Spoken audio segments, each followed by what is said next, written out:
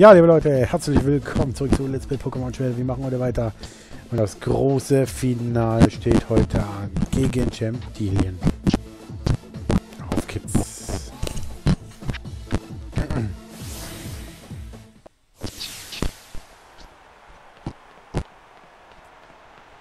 Ich muss sagen, ein bisschen nervös bin ich schon. Aber schauen wir mal. Kriegen wir schon irgendwie.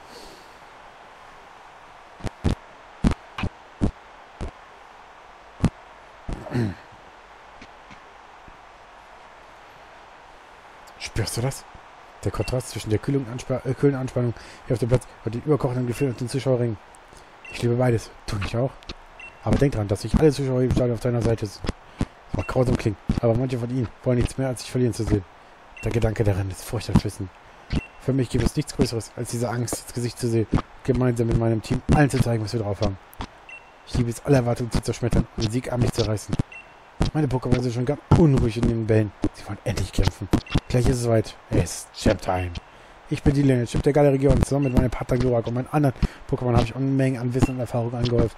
Genau aus diesem Grund werden wir dich auch gleich in die Tasche stecken. Hm. Äh, Moment mal, was zum... Da auf dem Bildschirm sieht nur... Was ist das?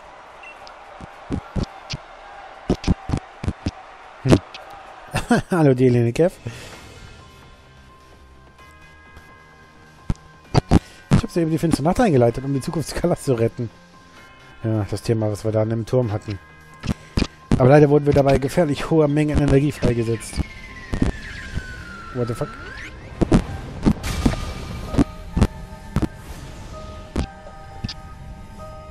Es wäre nie so weit gekommen, wenn du bloß auf mich gehört hättest, Dillian.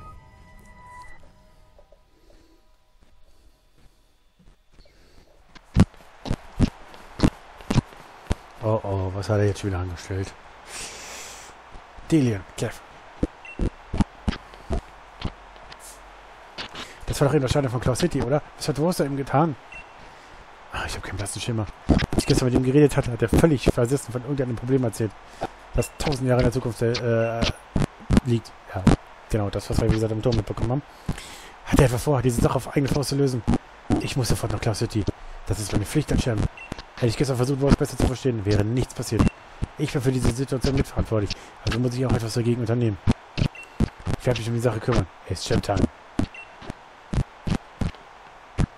Ey, warte, die, die, die, du... Ah, weg ist er. Wetten, dass er sich auf dem Weg nach Cloud City nur wieder verläuft. Ich muss meinem Bruder irgendwie helfen. Aber wie? Ich werde nicht mal stark genug, um mich zu besiegen, Kev.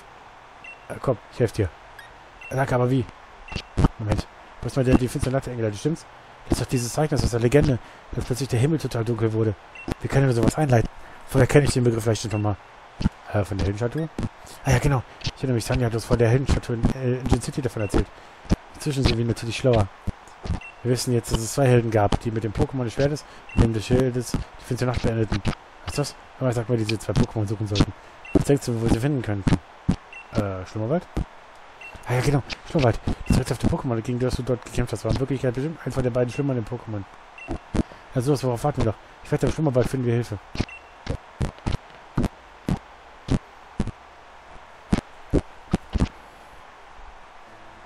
Hm?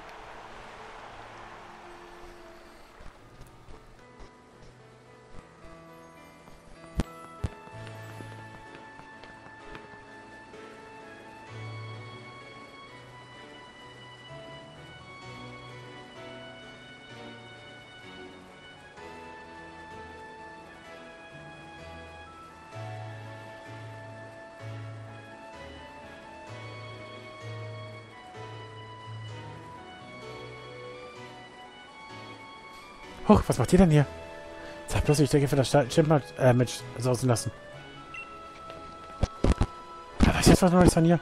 Äh, Liga Person Rose hat das Turnier unterbrochen. Jetzt herrscht ein riesiges Chaos. Was sagen Sie da? Ist das wahr? Ich habe es dir mit Schlummerwald, um meine Nachforschung anzustellen. Das ist völlig an mir vorbeigegangen. Erzählen Sie mir bitte mehr. Ja, also da wäre dieser schwarze Wirbel, der mit dem Klaus äh, City-Stadion äh, erschienen ist. Wen hatte der Liga-Präsident gleich noch? Ach ja, die 14 Nacht. Es war ein heilloses Durcheinander, sage ich dir. Aber darüber mache ich mir keine Sorgen. Der, unser unschlagbare Champ kriegt die Sache schon wieder in den Griff. Da bin ich mir ziemlich sicher. Halt, halt, halt, Pause. Haben Sie gerade 14 Nacht gesagt? So ist der schwarze Wirbel, der vor langer Zeit äh, bei einer ganz Skala zerstört hätte. Aber eins verstehe ich nicht. Was führt euch ausgerechnet hierher? Äh, wieso das Pokémon des Schwertes? Stimmt, wenn die Legende stimmt, ist es dem Pokémon des Schwertes und des Schwertes damals gelungen, die äh, Nacht zu bezwingen. Das heißt, sie können uns vielleicht äh, dabei gehören, äh, noch bei den Wirbel loszuwerden. Okay, ich bin dabei. Äh, nimmt das. Geht schon mal in die Schlummerwald. Ich kann wahrscheinlich keinen nach. Es gibt auch noch eine Sache, die ich vorher erklären muss. Drei Doppelleber. Ich glaube, wir haben jetzt neuen oder so. Ich habe hab noch keinen wirklich eingesetzt. War auch nicht, Gott sei Dank nicht nötig. Tu, was du tun musst, äh, mein Junge. Du bist schließlich ein waschechter Pokémon-Trainer. Kev, es gibt keine Garantie, dass wir diesmal von diesem seltsamen Nebel verschont bleiben. Aber selbst wenn wir unsere Pokémon inzwischen, inzwischen viel stärker als damals, uns kriegt so schnell niemand klein. Wenn ich mir recht überlege, hat unser legendäres Abenteuer genau hier angefangen, als wir versucht haben, dieses Volley zu finden. Und das nächste Kapitel in der Legende von Hub ist wieder im Schlummerwald. Los geht's! Ja, wir wurden unterbrochen, dass wir äh, nächstes Mal nicht ähm, uns im Finale gegen Dillian sehen, sondern ja, der gute Boss hat wieder mal ein bisschen Scheiße gebaut. Na gut, dann müssen wir das also wieder mal irgendwie gerade biegen. So, die Frage ist, wo geht's jetzt lang? Und hier bleibt jetzt nicht alles übrig. Oh, ein Maritelit und was haben wir hier? Oh, ein Somniam. Das haben wir noch nicht gehabt. Gucken, ob ich die fangen kann. Level 45 sollte nicht das Problem sein. Wir sind, glaube ich, jetzt mittlerweile fast Level 70. Ja, dann versuchen wir es mal einzufangen. Das sieht gut aus, das sieht perfekt aus und wir haben es geschafft.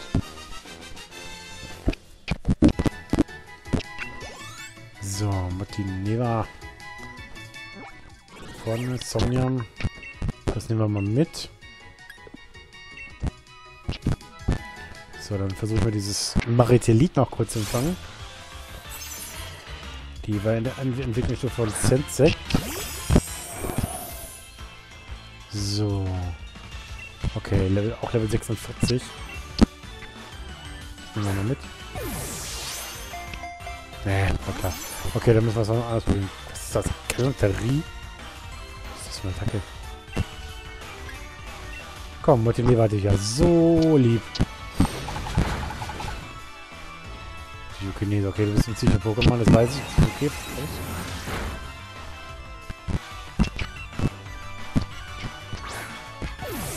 Dann nehmen wir das mal mit. Nee. Ich würde es mich gerne fangen. Weil wir den Eintrag brauchen. Ich glaube, wir sind mittlerweile bei um 150. Gefangen, 150 gefangene Pokémon. So, nehmen wir das mal. Nochmal knuddeln.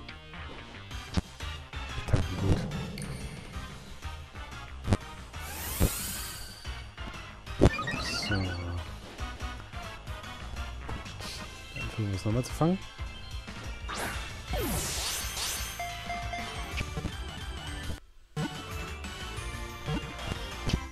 Ja.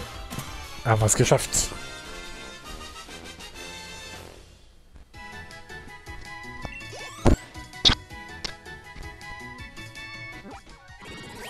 So.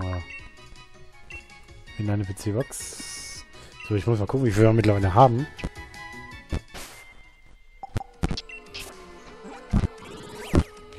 Jetzt mittlerweile 133. Gut, jetzt fehlen noch die ganzen Pokémon natürlich. Was ist hier? Heinz Mettbo. Gut. Dann versuchen wir es mal zu fangen.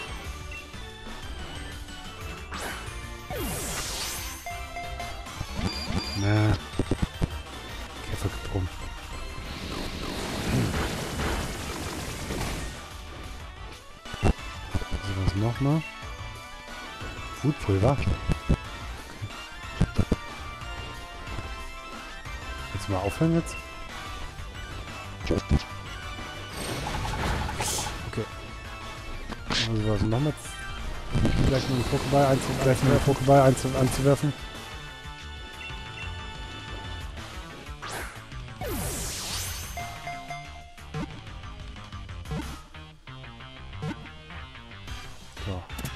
Oh, dieses Map, wo... Oh, dieses Map ist gefangen.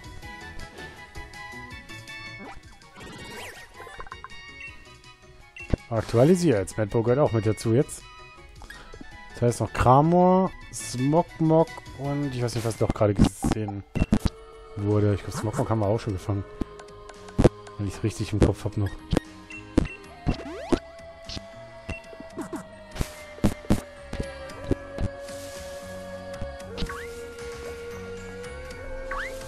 Glaube, wir haben eins mittlerweile.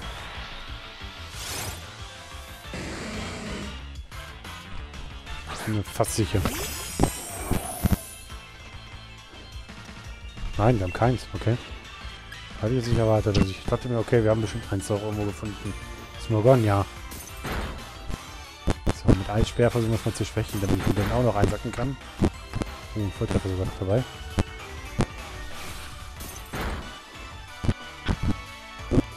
Ach, leck mich doch am Sack. Das sagt sich doch selbst. Ich wollte dich fangen. Ah, das wird nicht das letzte gewesen sein.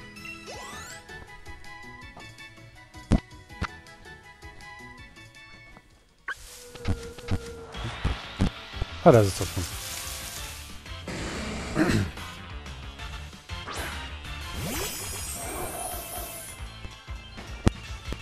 Reaktionsgas. Okay, das ist sowas nochmal.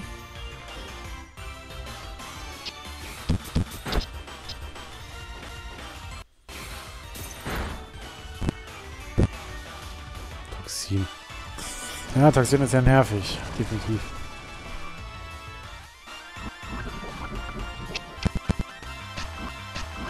So, ich gucke, dass ich noch mal Top-Genesung habe.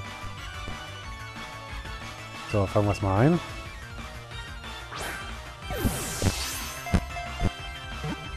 Eins, zwei, drei, meins. Dann haben wir dieses Smoke aufgefangen.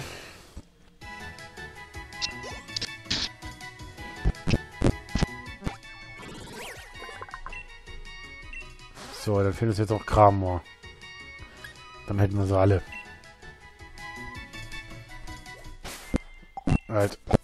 Einer zu weit. So, dann müssen wir das weiter machen. Müssen wir noch kurz mal in Top-Genesung reinsetzen.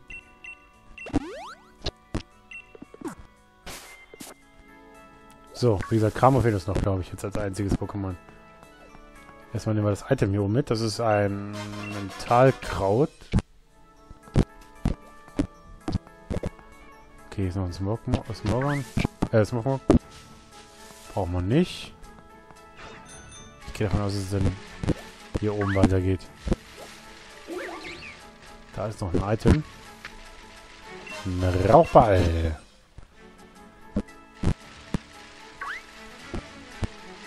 Und da steht der gute Hub. Das gibt's doch nicht. Der ist doch noch dichter als damals.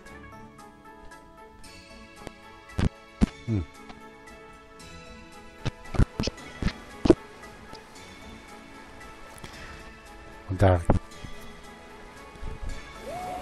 sind die beiden legendären Pokémon. Das Schwer Pokémon des Schwertes und des Schildes.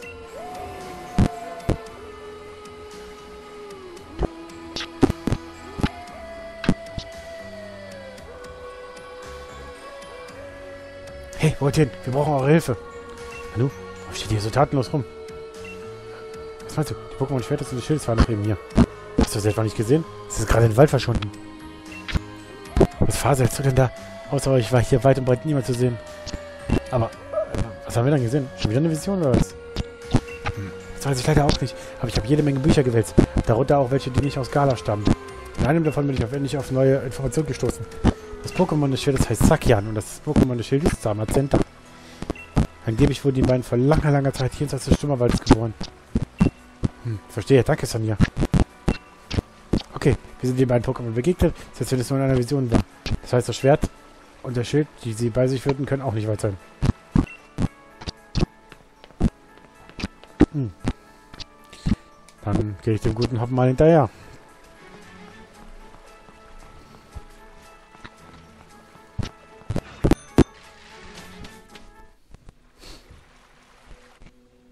Da ist so eine Art Schrein.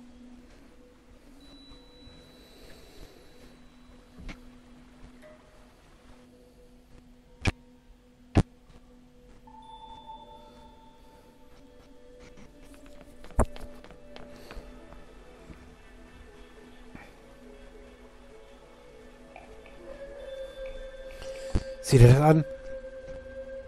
Dieser Ort scheint eine unglaubliche Atmosphäre aus. Wir sind der Legende definitiv auf der Spur.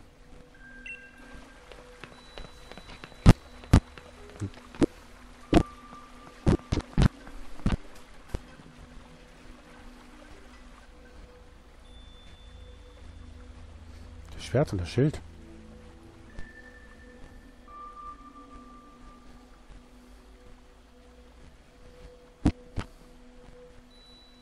Sinokev, das Schwert und das Schild, die gehen es also wahr.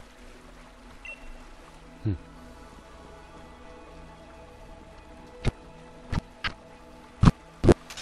Ich halte ein rostiges Schwert. Mit diesem Schwert soll ein Held einstmals großes Unheil abgewendet werden haben. Roste wird der Zahn der Zeit haben, jedoch ihre Spuren hinterlassen. Okay, dann nehme ich ein Schild. Aber das Ding hat auch schon mal bessere Tage gesehen. Ob man damit wirklich die finstere Nacht bezwingen kann? Naja, zumindest das Glücksbringer ist es gerade noch zu gebrauchen.